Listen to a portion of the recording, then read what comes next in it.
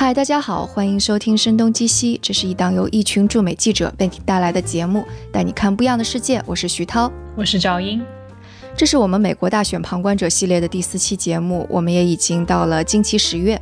在过去两周中，我们也是旁观了两场不太寻常的总统辩论，其中一场比较是互相谩骂模式的，另外一场是。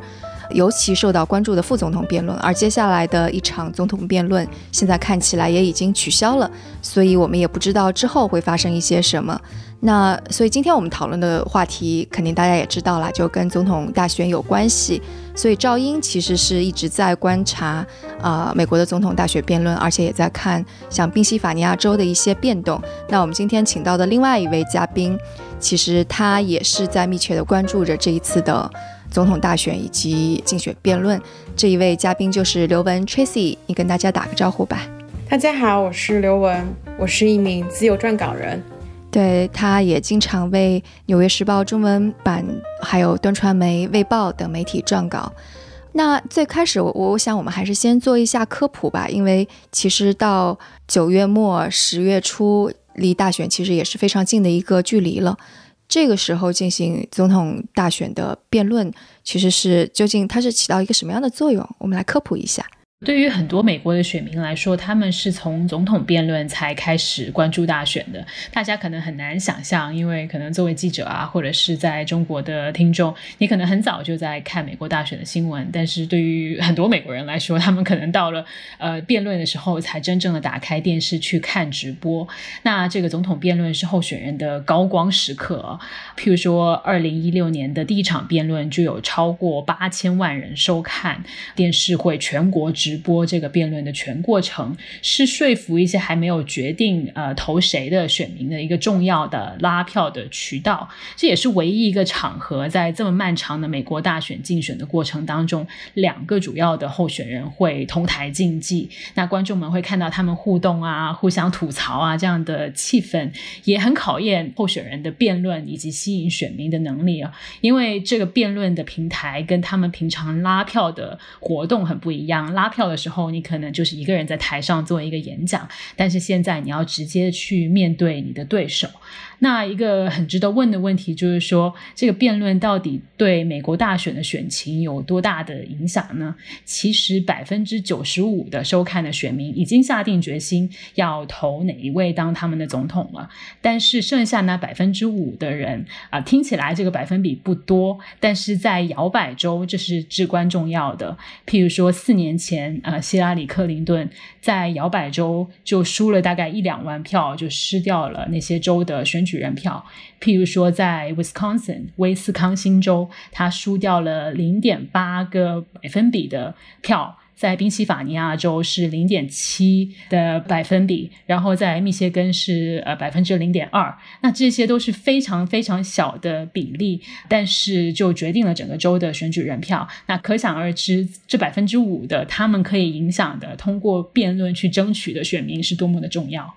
对对对，所以这里可能一个小小的背景知识就是，美国并不是按照总体的计票数来决定哪个总统赢，而是以选举人票。所以其实对于总统竞选而言，很多大的那些什么深蓝州、深红州，其实总统都不去游说的，基本上是在游说这些摇摆州。他们如果某个摇摆州以非常微弱的选票数量赢了之后，那他一下子就相当于是这一整个州的票数就全都拿下来了。所以这是一个非常微妙的地方。因为因为很多人虽然都已经定下来了，但是就是辩论的话，我觉得除了就是让那个没有决定好的人投票以外，但还有一个就是给那个大选造势的一个感觉。因为大选其实有的时候也是就是需要。把那个场子给炒热嘛，因为有的人，比如说他可能是可投可不投，或者是有的人可能是本来就觉得说，可能我不想去投票了，或者说不想早起啊，我不想开车去那么远的地方投票啊。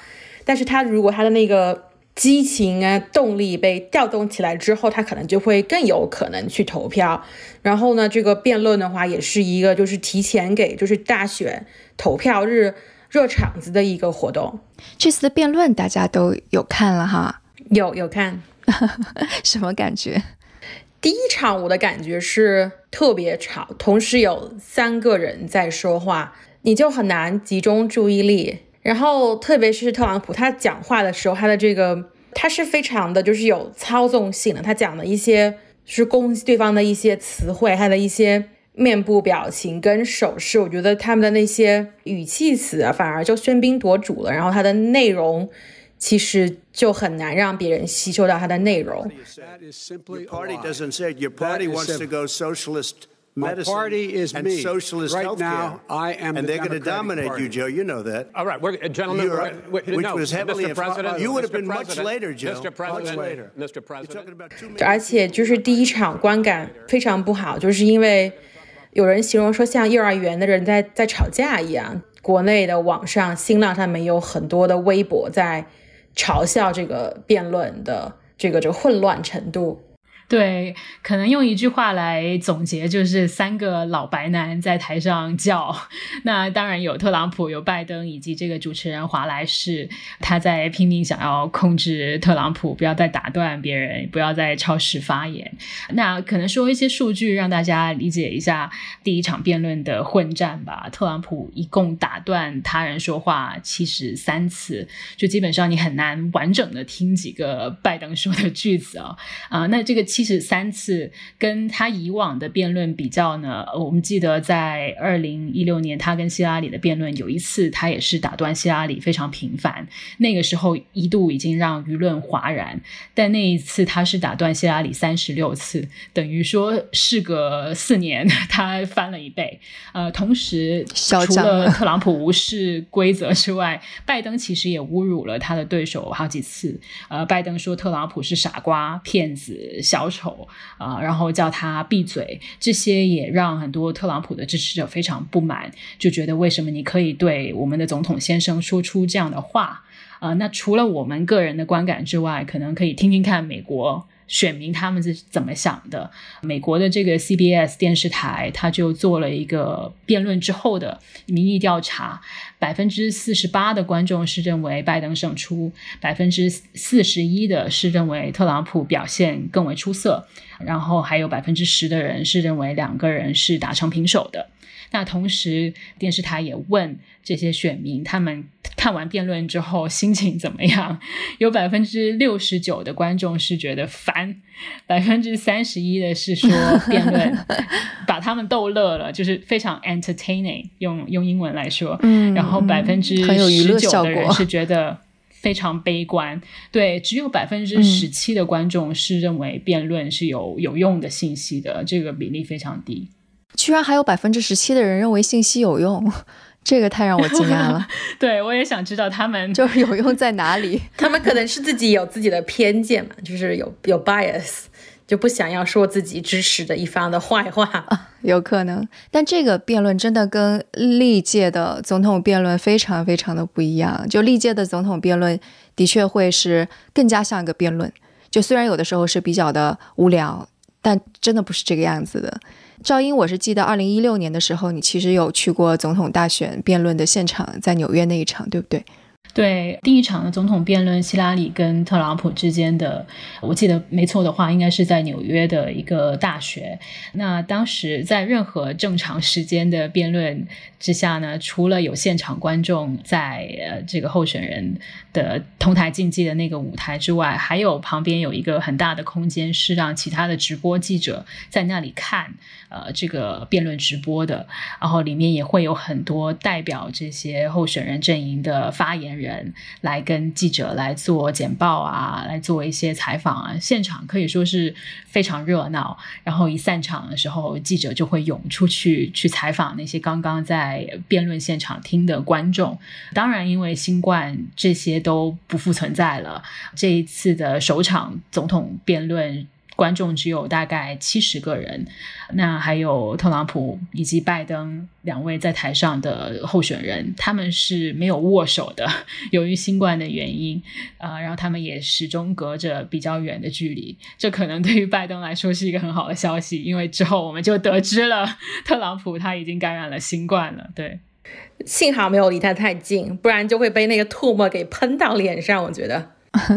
是，然后其实那个第一场的总统大选辩论结束之后，其实就紧接着发生了特别意想不到的，就是特朗普他也感染了新冠肺炎，并且入住了医院。所以在这一场之后，接下来几场总统辩论是否还会举行？那个时候就比较的悬疑，包括拜登的身体情况是否也会受到影响，其实也都存疑。所以这就显得好像第二场的副总统辩论变得尤为重要，而副总统辩论其实在历史上一直是不太受人重视的。对，的确是这样子。首先要解释一下，美国大选当中会有三场的总统辩论，然后这一届就是在特朗普跟拜登之间进行了，还有一场的副总统辩论。那传统来说，这个副总统辩论比较是不受关注的，它的收视率也远远不如总统辩论。有一个例外是当年拜登作为奥巴马的竞选搭档，跟佩林啊阿拉斯加州的州长去辩论的时候，那大家可能都记得佩。林的个性是非常乖张的，有点奇怪，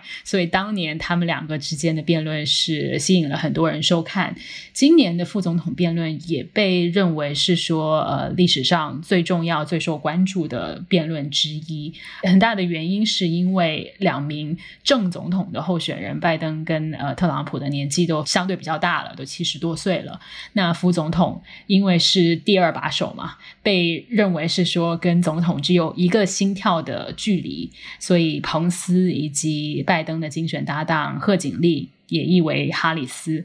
呃，他们受到的关注非常大啊。那特朗普的新冠确诊很可能意味着我们第二、第三场辩论也许存疑了。那第一场辩论的混乱之后，选民没有得到他们想要的信息，就很多人寄望在这个副总统辩论里面可以看到更清晰的这个政策上面的争锋。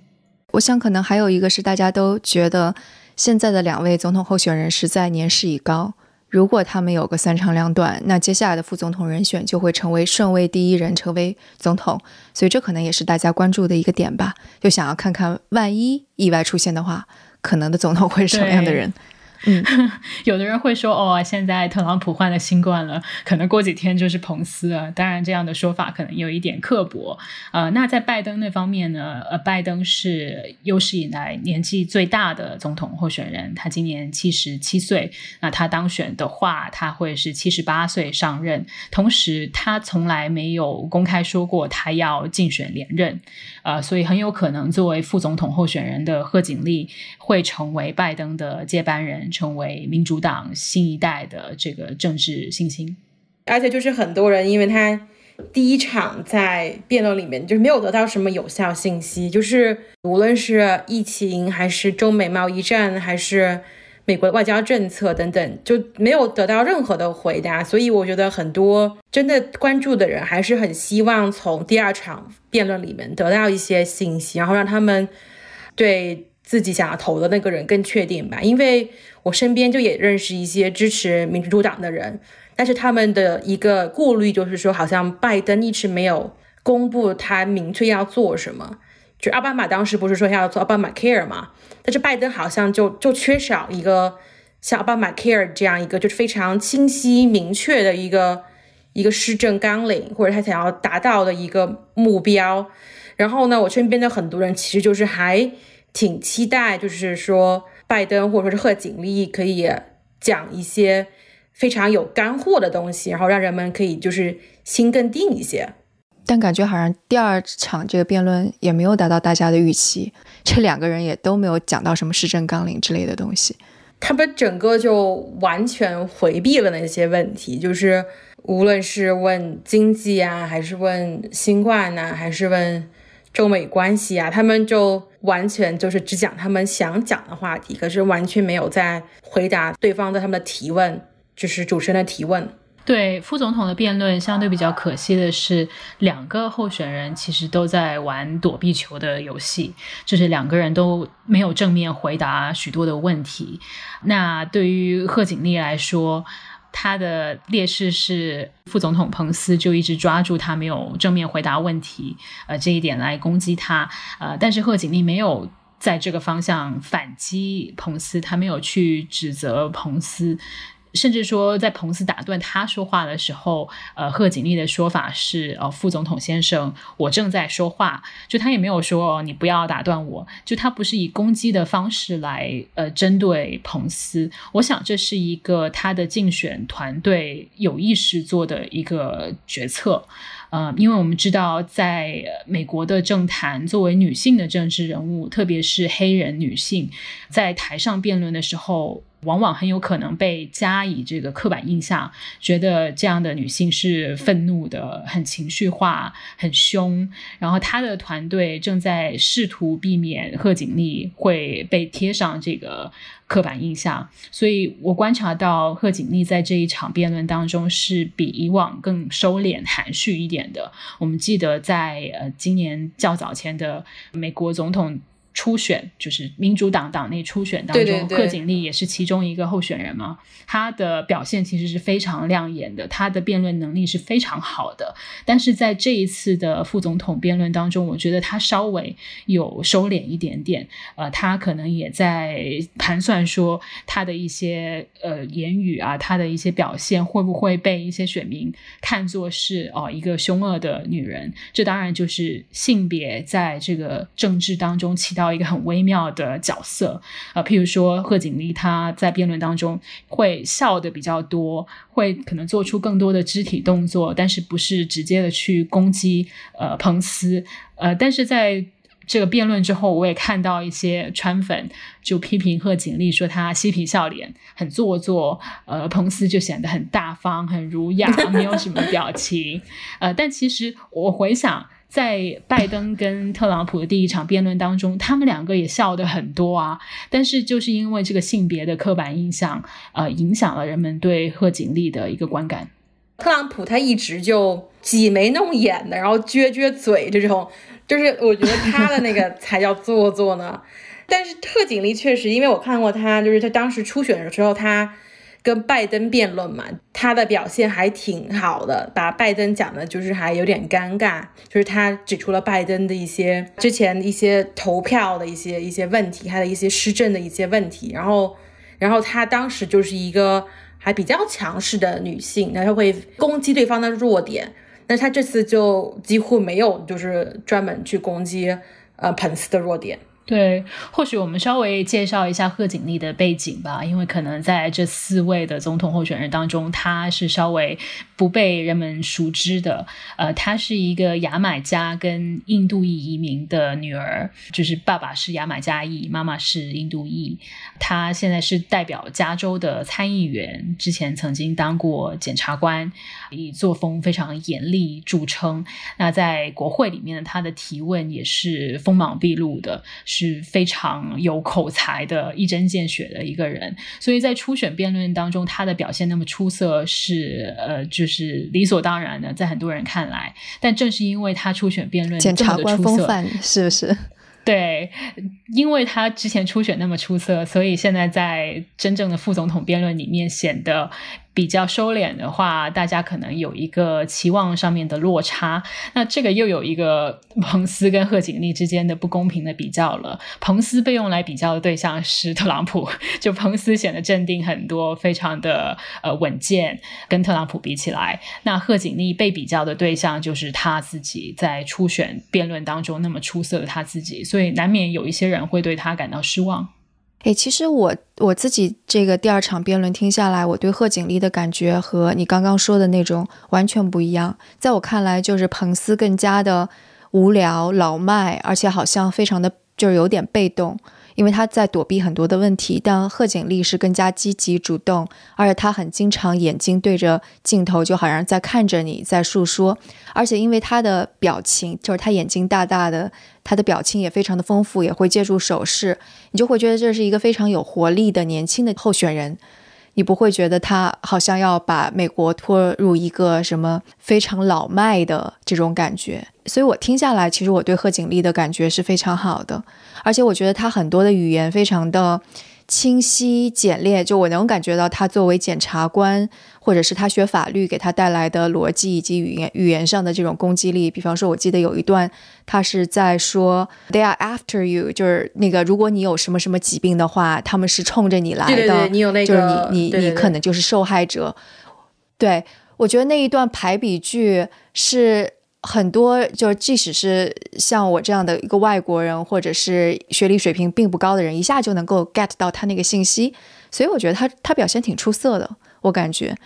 就是我觉得他语言不错的，就是就是大家都是写作的嘛，我觉得他的文采肯定是好很多。他像他他一开始就说，就是你一月二十八号就就知道了这个新冠的危险性，你为什么不说？他用的那些排比句、反问句，他用的一些词汇。就我觉得确实是挺好，就是我觉得失望的话，可能就是说，觉得他他没有像初选那么具有攻击性，然后可以，就是我觉得，比如说像我们这种支持拜登的人嘛，就会希望他可以把那个彭斯给在地上碾压，然后摩擦那种感觉，然后，但是他确实就也也没有那么做，但他呃气势上来说是没有那么强势，但是他的语言跟文字还是挺不错的。对，而且我觉得他的气势上没有那么强，也许是竞选团队的一个有意为之的策略。除了刚刚说的这个性别上面的刻板印象之外，还有就是彭斯就是出了名的一个扑克脸的人，就是他无论是遇到怎么样的对手，他脸上都不露声色的。所以你面对这样的对手，就更加要显得比较稳健一点。四年之前，希拉里的竞选搭档凯恩跟彭斯去辩论的时候，他们两位都是男性。但是凯恩依然显得好像歇斯底里，就是因为彭斯太稳了，就他显得根本。没有任何的情绪，所以彭斯反而显得好像很易怒的样子。那还有就是说，第一场的辩论，拜登跟特朗普的辩论实在是太混乱了，然后两个人互相攻击、互相揭短，让很多选民都觉得很反感。所以第二次的这个副总统辩论当中，我想两边的阵营都是有意把这个气氛稍微缓和一点点，不要那么热了，因为不然选民可能就会很厌恶这件事。对，我觉得同样也还有一个背景，就是因为贺锦丽她其实是刚刚说那个检察官系统、法律系统出来，其实她一直受到争议的一点是，特别是那个 Black Lives Matter 这个事情之后，她可能也会受到一些指责，说你是这个系统之内的，你是不是会有一些不公正的执法之类的？我想他是不是也在也要规避大家把他和这个系统内咄咄逼人的检察官的这个身份稍微梳理一些？当然，这是我猜测哈，我也不知道这是不是一个真正的、真正的原因。川粉特别恨贺锦丽，就是我采访了一些川粉，然后特别是华人川粉，他们就非常恨贺锦丽在加州做检察官的那一段历史。就觉得他好像推动了很多这个少数族裔的平权的一些法案，然后很多川粉觉得他们自己的利益受到了伤害。然后虽然我自己很欣赏他，但是确实就是让有些人对他的这个强势的这个非常 push 的一些做法有一点点微词吧。然后我觉得他可能就是想要吸取教训，然后呈现出一个可能更温和，然后更有亲和力，然后更受人喜欢的一个形象吧。当然，特朗普还直接指责他是一个共产主义者，就直接把这个帽子就扣在了贺锦丽的头上。对共和党这边的攻击贺锦丽的策略是把他塑造为一个比拜登更左的人，他会是一个共产主义者，然后他会代表着民主党的未来，这样来攻击贺锦丽。因为我觉得他确实很多事情做的还挺挺超前的，就是他在加州的时候，确实做了一些别人看来比较。比较 aggressive，比较比较激进的事情，就虽然我觉得是好的，但是在有些人看来可能就是大逆不道吧。刚刚我的猫在叫，所以我就 把猫给撵出去了。没关没关系，听众喜欢那个猫猫在旁边叫。啊，你接着说，抱歉打断。对，然后呃，贺锦丽，对，加州本来就是一个超级 liberal 的地方，而且超级那个自由自由派的地方，而且他又是在旧金山做总检察官，是吗？我就一看到这个背景，对对对我就想，嗯，旧金山它这个深蓝背景就已经非常深蓝了。所以我看那个最近应该是 Wondery，他也出了一档播客，其实就是在讲贺锦丽。他的第一集其实就是从贺锦丽啊、在旧金山开始的起步，以及他办的案子作为开始的。我当时听的时候才出了第一集，所以如果听众当中对贺锦丽的这一个播客，当然不是说贺锦丽来做 host 的这个播客哈，是讲贺锦丽的这个播客，大家也可以去听一下。其实贺锦丽的母亲也还挺前卫的，她母亲是印度人嘛，然后就来美国，然后读书，然后后来做了一个很有名的专科医生，然后就她母亲在当时那个年代，就特别又是印度这样一个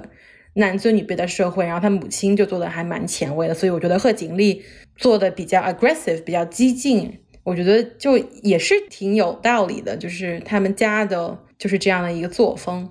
对，贺锦丽的母亲，她来到美国之后读书，其实就是在应该是在加州的这个地方读书。然后贺锦丽出生的时候是在伯克利，然后他们家就是住在那个 Berkeley，就伯克利大学所在的这个城市。当时一九六几年的时候，他母亲应该还是比较年轻的时候，就参加反越啊，然后平权运动啊等等这些，所以在他母亲年轻的时候就是一个平权运动者。他母亲跟他父亲的认识，应该就是在一场平权运动当中。是的，就是他的母亲呢，本来是说他学成之后要回印度嫁人，他们家帮他物色了一个对象，要让他就嫁给那个男方。但是他母亲在运动中认识了他的父亲，他们俩都是在当时就是反越战呐、平权运动里面，他们俩都是很非常积极的就学生运动分子嘛。然后他们两个就坠入了爱河，然后他母亲就拒绝了回印度，然后他母亲就留在了伯克利，然后就有了贺锦丽。就他母亲的父亲，他的外祖父是一个很有名的外交官，就是他们一家都还挺 liberal、挺开放的，就是代代相传的那种感觉。就所以在这一次的副总统辩论当中，贺锦丽会时不时提到他自己一些非常个人的东西。就她有提到一句，就比方说，她提到她的母亲可能会会为他骄傲，然后包括还有说，我也有我的那个应该是他的继子吧，也是一个青少年阶段的。就他会提到这些，其实就是因为美国的全国人民其实对他没有那么的了解，他也希望争分夺秒的透过这样的总统大选辩论，把自己更加亲民的方式推销给大众吧。其实也有这个考虑在里面。所以可能如果从这样的角度来考虑的话，他采取更加的不 aggressive、更加的温和的态度，其实是能够让美国全国人民更容易接受他的一种方式。这个其实也跟那个综艺选秀很很相似啦。对，没错，毕竟他是这四个总统、副总统候选人当中大家最不熟悉的，所以他以这种介绍家人啊、讲述自己成长背景的方式来把自己介绍给美国选民，也是非常可以理解的。那在我们今天录音之前呢，刚好我们获得的信息就是说，第二场的总统辩论，特朗普跟拜登之间的这个辩论就取消了。因为特朗普不愿意去参加一个虚拟连线的辩论，而主办方认为他现在因为感染了新冠，所以应该以虚拟连线的方式举行辩论。那既然一方拒绝了之后，这个辩论就取消了。拜登是说他会在这个原定辩论的那一天自己举行一个市政厅的会议，这本来也是第二场辩论的要用的一个方式。所谓的市政厅会议呢，就是呃候选人在台上，然后台下的观众直接来提问，然后候选人要及时回答他们的问问题，跟我们看到的第一场辩论由主持人提问呃的方式还是挺不一样的，很能够考验这个候选人跟选民之间产生一种联系呃共情心的这么一个能力。我不知道你们觉得取消了第二场辩论这个事情会对大选有什么影响呢？对于特朗普来说，这是好事还是坏事呢？对于拜登来说，他们的策略应该是什么呢 c h a s e 你怎么想？正好我在采访一些人嘛，在写稿子，然后采访一些人，然后就也聊到了这一点。我采访的几个人，他们是觉得对拜登有好处的，因为他们最大的顾虑是拜登可能年纪大了，就是反应不过来，然后可能会忘词，可能会结巴口吃。然后他们最害怕的是拜登在这个面对这个提问人这种需要极致的情况下，他可能会一下子就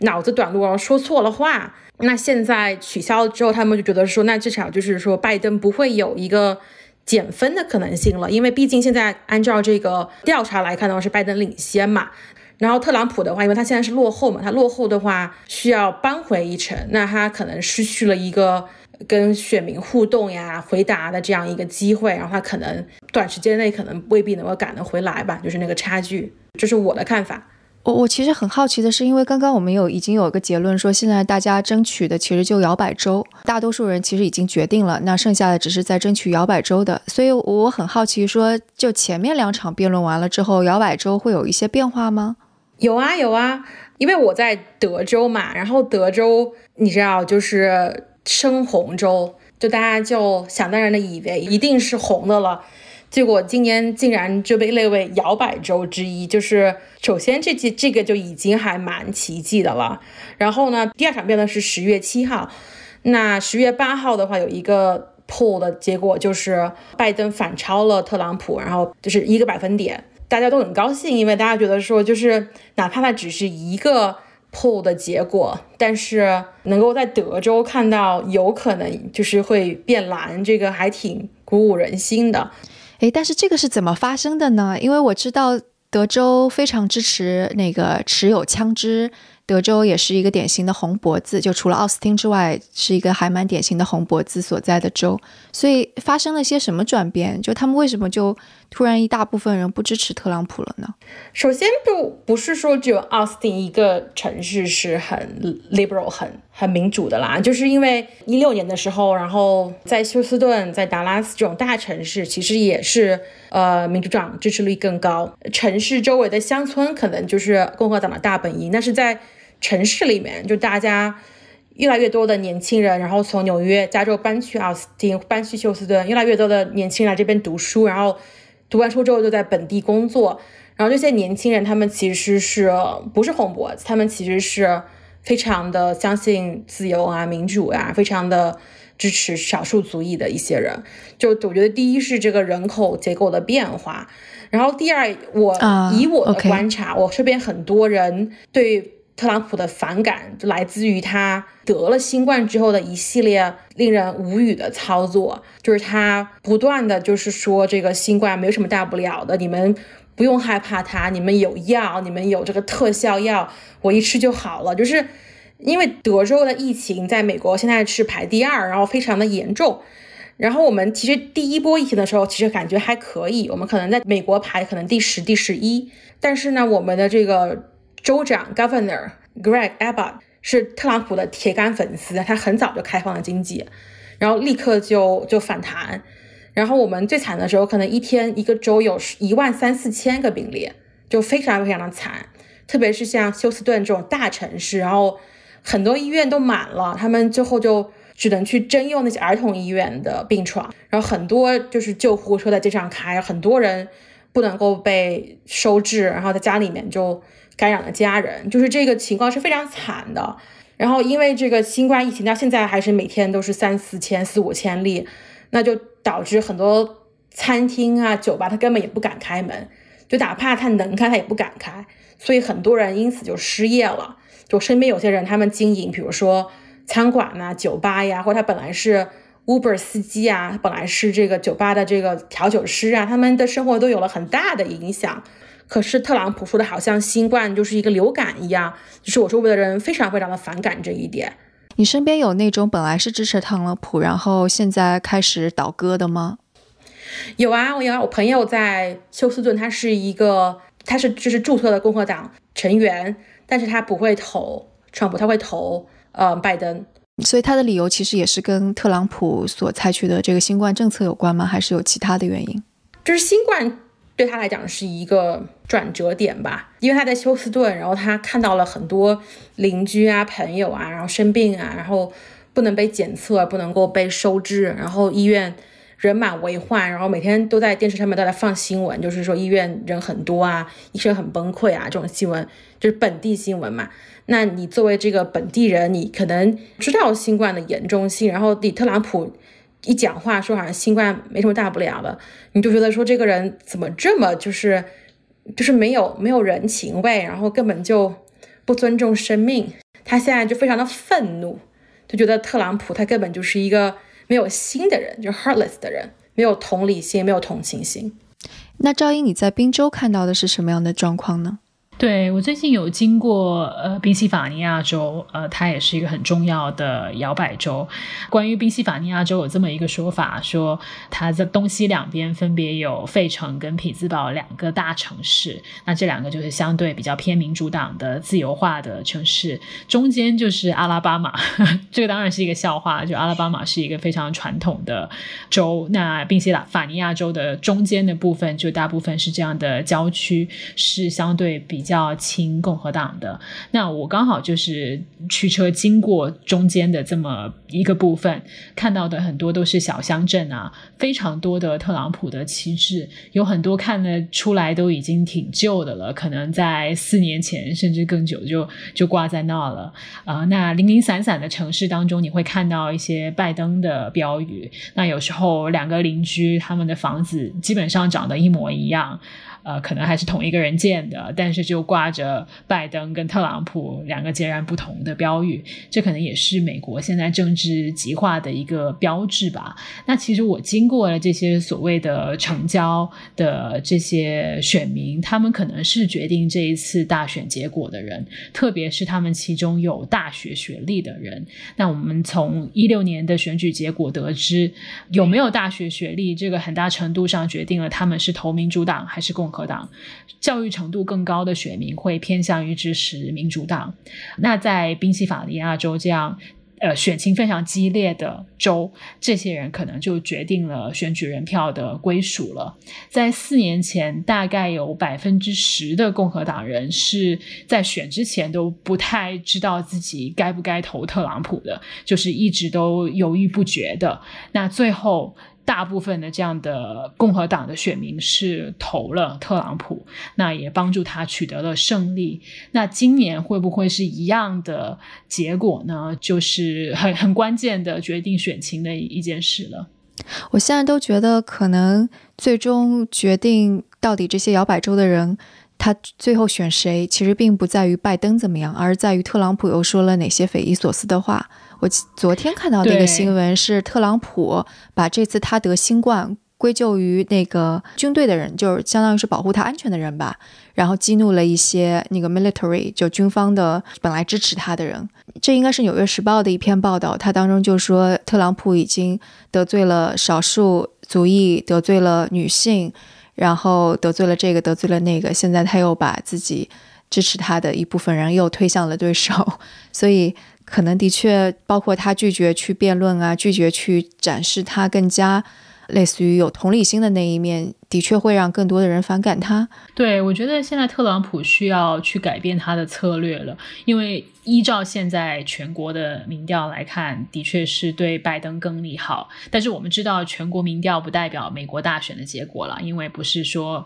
谁的得票高谁就当选，还是要看选举人票的。但是就像刚刚 Chasey 说的。第二场的总统辩论取消，那对于拜登某种程度上是利好，因为他没有机会去犯错了。其实第一场辩论，特朗普就一直插话，没有机会给拜登犯错。啊，那现在连第二场的这个辩论都没有了，那特朗普也失去了一个机会去表达他自己。那对于现在民调领先的拜登来说，这是一个好事。但是徐涛，你刚刚也说到很重要的一点，就是现在美国大选整个的关注的。焦点其实都是在特朗普的身上，就他的病情怎么样，他又说了什么话，他会不会还在有病的时候就去举办人多的聚会，这些都是媒体二十四小时都在关注的事情。等于说，这个主动权其实完完全全在特朗普的身上。拜登除了做到不犯错之外，他可以做的事情并不多，等于是相对比较被动的。呃，所以现在的选情虽然看起来对拜登有利，我觉。觉得特朗普还是有一定的翻盘的可能性，但是就要看他怎么去利用现在剩余的二十多天的时间了。啊，我想补充一点，就是说，其实拜登也开始出来去 rally 了。他的妻子那个 Doctor Biden，他会在周二来德州，然后做 rally，他会去三个地方：El Paso、Houston 和 Dallas。然后我周围人都特别兴奋，因为他最近很少出来，就是亲自去做 rally 嘛。大家都在拼命的在网上说我要去啊，要注册呀，要去看他的那个妻子呀。就是我觉得拜登现在也处于可能比较更激进的一个状态吧。对，但是就是现在可能更加 tricky 的一点就是，包括在副总统辩论当中也提到了，就如果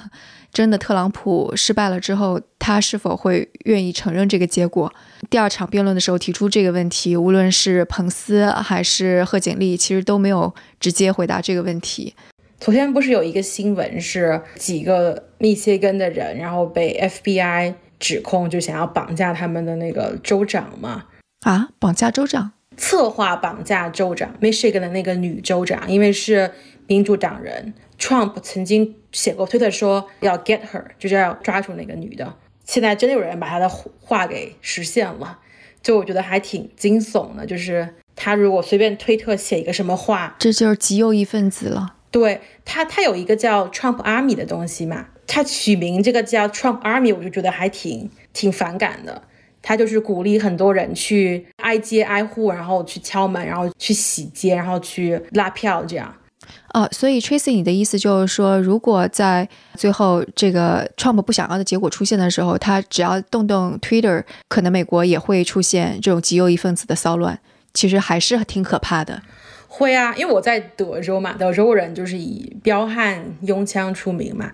那个时候我记得是六七月份，然后我们。经济本来已经开放了，后来就疫情大幅度反弹，然后后来就关了酒吧，然后呢就有很多红脖子，就是就真的是开皮卡的那种白人男性，他们就聚在奥斯汀州政府的那个建筑门前，然后他们就在那边喊口号，说我们要自由，我们不要戴口罩，我们要开放经济，然后他们真的就是带着枪来的，穿那种迷彩服。对，而且很多人担心说，特朗普现在怀疑邮寄选票的公正性，以及说会有这个选举舞弊，都是为他拒绝承认这个落败的结果铺路。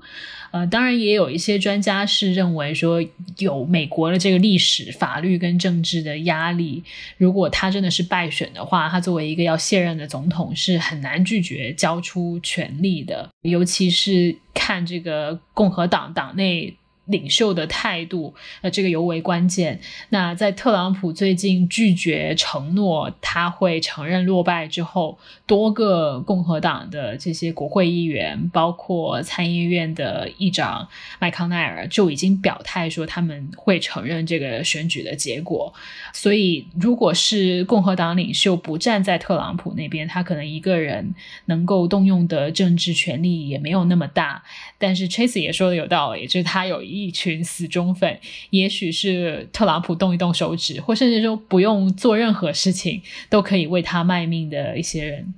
就是可能我之前没有见过这样一群人，然后现在就让我意识到，在美国是有很多这样人存在的，他们是会愿意出来举起武器，然后捍卫他们心目中所谓的自由的，就哪怕这个自由可能并不合法，也并不合常理，但他们是愿意去捍卫这个自由的。他当时就说我们要喝酒，要去理发，要去纹身，就是我们要有这些权利。就虽然在我看来，可能就是你为什么要冒着得病的危险去理发、去纹身呢？但是，但是真的是有这么一群人，他们就是会愿意去用武器捍卫他们这种喝酒啊、理发的自由，还蛮 surprising 的。刚刚赵英，你是问了我们问题，说如果接下来的总统大选辩论取消，你觉得这个是对哪个有好处？所以你的你你的看法呢？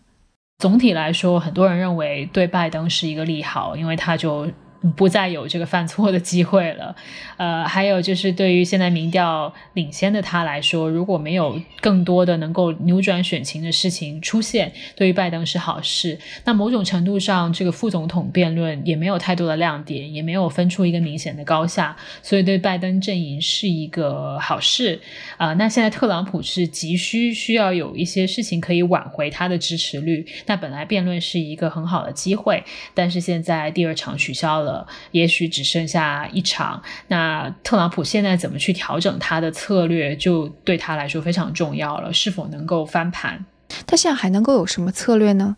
呃，我觉得特朗普的一个很大的优势就是他完全掌握了媒体的这个焦点，就是无论他做什么。媒体都会一直跟踪，就算是媒体一直去批评他，他们也是把镜头一直对准特朗普，等于说他有很大的主动性。虽然说拜登现在也有出来拉票了，但是总体来说，我觉得特朗普的活动跟他的发言还是吸引了更多的注意力。这跟他现在是在任总统当然很有关系，他的一举一动，包括他现在的新冠的病情，都会牵动人心。呃，所以说接。下来看拜登会不会出现大错，以及特朗普会不会有一些新的说法，是能够争取我们刚刚说的这些摇摆州的可能少数的还没有决定的选民，或者是一些共和党人本来是对他很有疑问的，但是也许他的一些表现能让这些共和党人还是咬咬牙把票投给他。我觉得很关键的一点是多少人会出来投票。首先，因为这个疫情的影响，可能很多人不想要去冒这个健康的风险，或者说他们本来想要邮寄选票的，但因为各种事情而耽搁了。还有很大的一个影响是，现在孩子都不去学校上课了，那很多的家长可能要带小孩啊，那能不能在那天抽出时间来去投票呢？很关键的这个投票率。特别是年轻人还有非裔美国人当中的投票率是对呃民主党来说非常非常重要的。譬如说，二零一六年就是因为很多年轻选民没有真的去给希拉里投票，他们只是告诉这些民调工作者说：“哦，我支持希拉里。”但是最终他没有去投票，就导致了希拉里落选，这是其中的一个原因。还有就是非裔美国人选民现在。我看到的比较近的民调是说，百分之八十一的非裔选民是支持拜登的，还有百分之十四是支持特朗普。这个数字看似对拜登非常有利，但是你如果比对之前的历史数据的话，就会发现他在非裔选民当中的选情其实不是那么尽如人意。希拉里当年是拿下百分之八十九的非裔选票，那奥巴马更加不用说了，两次都是超过百分之九十的。所以如果拜登只是拿到百分之八十一，那可能对他来说是一个非常坏的消息。我还想问一下，因为我其实，在不同的 social media 上面有看到说，其实你邮寄出选票，它本身是一个挺复杂、挺 tricky 的事情。然后，包括可能当中有某些选项，还是某些步骤，其实是很多人都会忽略掉的。就这个，能够详细说一下吗？我读到的是，主要是你要及时寄出，以及这个邮政系统要受信任，就是真的能够把你这个东西寄到那样子。我倒是想要说一点，就是说，因为你知道，像德州他们十月一号刚出了一个规定，是说每一个郡只能有一个邮寄选票了的这个投寄点，但之前是按照这个人口来分配的，就像休斯顿那个郡，就 Harris County，它有十二个嘛，现在只有一个。但是有一些共和党的票仓，比如说像奥斯汀北部跟东部的一些郡，就只有几百个人，他们也是有一个。就是我觉得现在唯一的顾虑，可能就是说共和党他们会人为的设置一些干扰，然后来阻止人们投票。可能特朗普他要获胜，也必须要依赖这种就是类似于作弊的手法。但是也确实是有用的啦，因为邮寄投票投寄点一减少，那很多人，特别是我们德州是只有老人跟残疾人才是可以去邮寄的，别人是要去当面投的。那很多老人他不可能真的就是穿越整个城市去投个票嘛，就这个也真的是非常的不现实。所以邮寄选票还是限制人的呀，每个州每个州不一样。我们德州是只能够六十五岁以上的老人、残疾人，还有就是监狱里面的人，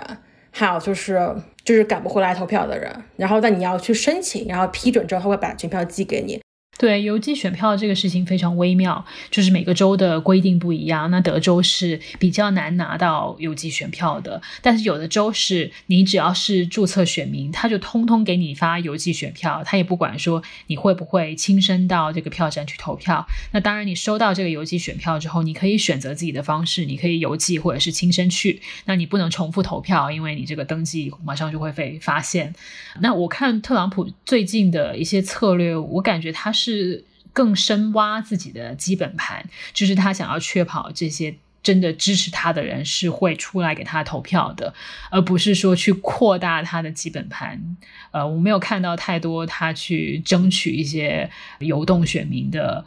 一个举措。呃，那可能民主党那边也是要想办法去确保他们所谓的支持者，这些在民调里面显示是会给拜登投票的人，是真的会给他投票。啊，在非裔，在这个世交的女性，还有这个年轻族群当中，这些投票率对民主党来说尤为重要。我还想问一下，因为二零一六年有很多华人也投了 Trump 嘛，所以四年过去之后，华人们就不能够说所有吧，就会其中会有一些改变主意的吗？Tracy 采访了很多华人选民，你要不要说一说？啊，就是我能够讲的，就是根据我采访到的一些例子吧，可能不是所有人。奥斯汀有一个就是 Asian American 的一个组织。很多年轻人，然后有啊华裔啊，有一些越南裔啊，有一些印度裔啊，他们现在就在做很多义工，就包括他们开车去载一些老人去邮寄投票，因为你知道我这边就就一个点了嘛，这个点不方便，就很难去的一个点，就是华裔的这个族群，然后也跟很多非裔啊、拉丁裔的搞了很多的社区的这种团建的活动，去发一些投票的传单呐，就是。可能一六年根本没有投，甚至也没有注册过的一些华裔选民，他们今年都注册了，然后都投票了，他甚至还捐款了。因为我朋友在麻省，在那个波士顿，他们有一个就是华人支持拜登的一个族群，然后他们也在就是做很多义工。我不能够说川粉会改变主意吧，但是我能够看到的是，很多可能之前不投的人，现在在投拜登。就他们都觉得到了一个关键时刻，如果他们不发声，他们就要让政治意见者占领优势了，就这种迫切的感觉是吗？其实华裔这几年在特朗普的领导下过得还是比较不顺的，就是包括像他老是讲就是 China virus，然后他老是取消一些 H1B 啊、F1 这种签证呢，他他可能赶走了一些大学的这个华人的这个访问学者。就是我觉得很多华裔意识到，就是虽然可能特朗普会减税啊，可能会多赚一点点钱，但是你华人这个族群，然后你的声音会越来越微弱，你的利益会越来越被影响。就是我觉得有些人可能看到了，如果他再当选四年的话，华裔的就前程会比较悲惨吧。对，我觉得我们在说华裔美国人的时候，可能要稍微说清楚，有一些华裔美国人是在美国已经世世代代了，呃，在美国土生土长；有一些华裔美国人是从中国来的新移民。对，我觉得他们的投票倾向很不一样。有很多在美国出生长大的华裔美国人是更加偏民主党的，但是很多从中国来的移民是支持特朗普的，出于种种的原因，包括就算特朗普的对华政策是如。此鹰派，我听到很多支持他的中国移民认为他是在玩一种呃交易的手段，是一种谈判的手段，就他不是真的要对中国差怎么样。不论我们认不认同这种看法，很多人是这样的看法。那我的直观感受是，其实便捷的人不算太多，但是的确是存在一些人投过特朗普，今年决定不投他了，或者是投一个第三党派的候选人。我采访过这样的华裔选民，也有的人是上一次是投了希拉里，但这一次因为不满意拜登。在初选当中突围，然后贺锦丽其实也是在中国移民当中一个相对比较有争议性的人物，所以因此他们不投拜登，也不投特朗普，就是也是写另外一个候选人。那为什么贺锦丽在某一些中国移民当中是有争议性呢？就是因为他作为代表加州的这个参议员，他曾经提出过一项关于绿卡国别限制的法案，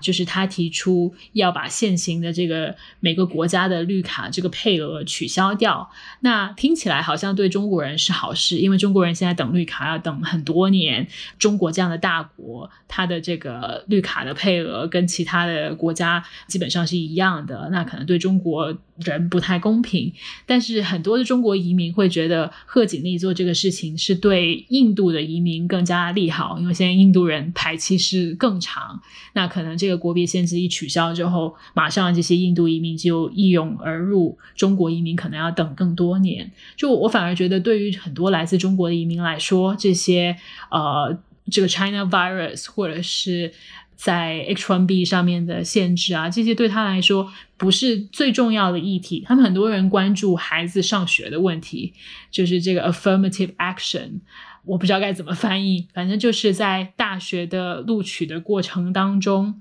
要招收多少的亚裔的学生，招收多少非裔的、拉丁裔的学生，这样的一个辩论，很多人认为是牺牲了亚裔，特别是华裔的利益，所以呃，中国移民的父母一代特别。不能接受这么一个政策，他们是觉得是民主党一直在推这个，主要在推这个政策，所以因而会更倾向于共和党那边。我觉得在这四年期间，我看到这个趋势越来越明显。而在土生土长的华裔美国人当中，他们是更加偏民主党的。我看到的一个最近的民意调查是 Chinese American 这个整体百分之。四十二是支持拜登，其他的就是支持特朗普，或者是还没有决定的，所以其实还挺分配的平均的。所以你看，当我们说摇摆州怎么样的时候，我们可能没有什么感觉；但说到在华裔当中也很摇摆，这个我们就可能感觉的就更加清晰一些了。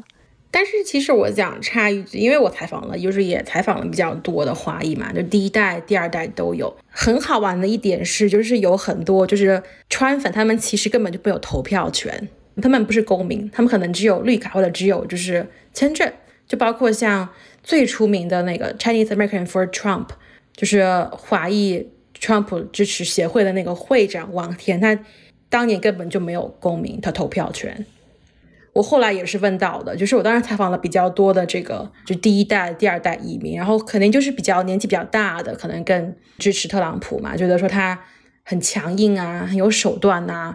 很擅长搞经济啊之类的，就是很欣赏这样一个非常强硬的硬派的领导人。当然，年轻人可能就是因为读了美国的大学啊，有很多美国的朋友，很多这个少数族裔的朋友，他们可能会更支持拜登。那他没有投票权，所以他投身到这个政治运动当中，这是为什么呢？他们可能很很讨厌拜登吧，或者他们很崇拜特朗普。他们有的人崇拜这种非常强硬的领导人的形象，就是他们很多人很仰慕强权，所以他们就从一个强人政治的国度到了另外一个民主的国度，依然选择了一个强人政治的可能性，是吗？对啊，很多在中国可能比较。希望自由的人，可是，一到了美国，反而就臣服在了一个就是像特朗普这样一个非常强硬的、有偏见的领导人底下。其实我本人也不是很理解。所以他有讲的再更加详细一点，说他们的政治观点吗？我认识的华裔川粉，他们支持特朗普的原因，就第一当然是就是那个 AA 嘛，就是那个入学的政策；第二是税收。然后很多人可能自己开一个小公司啊，补习班呐，然后你要交公司税嘛。那特朗普是降低了这个公司税到百分之二十一个百分点，这个可能有些人可能可以节约，就是几千几百块美金，他们觉得很重要。然后第三点的话，他们是不能够理解，就是民主党的一些政策，包括像同性恋结婚，包括像就是这个无性别厕所，他们就讲说为什么就是。同性恋可以手拉手接吻呢，或者为什么为什么男人可以进女厕所呢？就是他们不能够理解一些比较民主的这个政策吧，所以他们就非常反对民主党之前推的一些政策。第四点的话，我觉得他们就是说仰慕特朗普的这个铁腕强人的这个，就想说什么说什么就做什么的人，就不像可能别的像奥巴马呀，或者是像克林顿呐，他们做事很多顾虑嘛，他们可能要。考虑这方面那方面啊，政治正确啊。特朗普的话就是我说什么就做什么，他也不考虑别人怎么看他。他们喜欢这样一个无所顾忌，然后唯我独尊的这样的一个性格。这可能也是普遍就是在美国的选民很大的一个问题，就是他们一定有不喜欢民主党派政策的地方，也有不喜欢共和党政策的地方，所以他们就我觉得很多有理性的人其实是捏着鼻子 去选一个更加不讨厌的人吧。就包括，其实我我很理解，像有些人为什么会不喜欢民主党派的一些政策，因为我在旧金山，我可以看到非常左的一些政策是如何让这个城市的无论是市政建设，还是教育系统，或者是监狱系统变得越来越糟糕。就但是这也并不意味着我就非常支持共和党的一些就。就当然我也没有投票权，我这个说来也没有什么用。所以我觉得这可能就是美国两党制下面一个非常难办的事情，也是为什么发展到这么多年到现在是这样两极的一种分化，其实也是挺让人头疼的一种局面吧。就包括大家都会期待说，也许美国的政治上会需要有一些变革，但究竟变革向哪方面走，就其实是谁也不知道的。你们加州的华人投谁比较多呢？我其实没有做这种。就是 我就因为不是一个可以统计去说的嘛，所以我身边有朋友是支持共和党，也有支持民主党。我也知道，二零一六年的时候，其实我身边是有朋友投票给了特朗普的。但通常投票给特朗普的人，在加州这种地方就会小小声，就是就不太会去说，因为感觉会受到歧视的眼光。但我也知道他们为什么会投特朗普，因为的确他们会对。公立教育系统非常非常的失望，而且在旧金山这种地方，如果你不是一个码农，你不是在一个科技公司工作，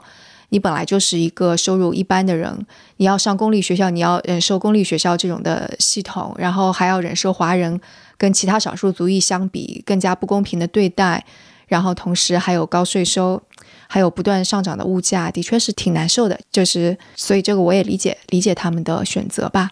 呃，我感觉移民政策以及社会福利政策也是对于中国移民来说非常重要的，呃，影响他们投票的因素。譬如说，我们在国内都知道，我们竞争非常的激烈，那移民之后。很可能也是有一点社会达尔文主义的那个思想在，譬如说，在美国，民主党是更加倾向于支持弱势群体啊，或者是援助这些无证移民啊。那在来自中国的合法移民眼中看来，就是帮助了一些不该帮助的人，他们会觉得哦，这些人就是自己不够努力，自己做的不够好，为什么我们要用税收来帮助他们呢？啊，那这种思想也让他们更加亲。共和党，我还要再更新一下我刚刚说的这个民调的内容，就是在 Asian American 亚裔美国人当中，对于拜登跟特朗普的支持其实是拜登百分之五十四，然后百分之三十是特朗普，剩下的是没有决定的。那中国华裔美国人又是怎么样呢？他们是百分之五十六。支持拜登百分之二十，支持特朗普，剩下的是不知道或者是还没有决定。那在各种的亚裔当中，中国人是排在大概中间的位置。我刚刚说的是华人的意思。那越南裔的美国人其实是非常支持特朗普的，他们对特朗普的支持是远超过拜登。那另外一个极端是印度裔的。美国人他们是百分之六十五支持拜登的，那可能也跟呃贺锦丽是拜登的竞选搭档有关系。对，那华裔美国人大概是这个中等的水平的，但是你也能看出，大概对于民主党的支持是占主体，不过对于共和党的支持也不少。我觉得这也跟是不是会跟那个最近两年特朗普的对华政策有关系，以及包括那个 China Virus 的这种有关系。就如果没有这些的话，也许可能